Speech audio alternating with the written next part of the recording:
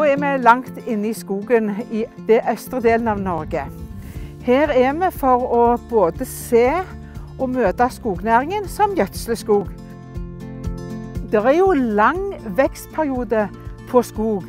Og det vi har gjort i dag, det gjelder gjerne ikke min generasjon, men det gjelder neste generasjon.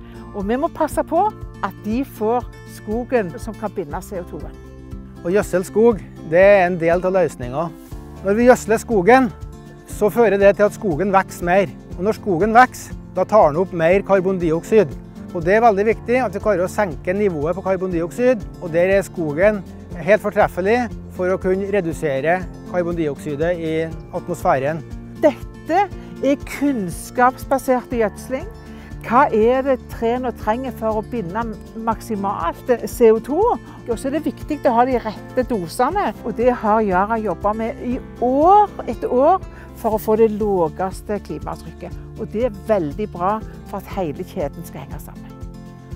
For å lykkes med skoggjødsling så er det et samarbeid med mange aktører. Det er gjødselproduksjon, det er distribusjon, det er spredning med helikopter, og ikke minst så må vi ha en skogeier som er interessert i å gjøre dette tiltaket.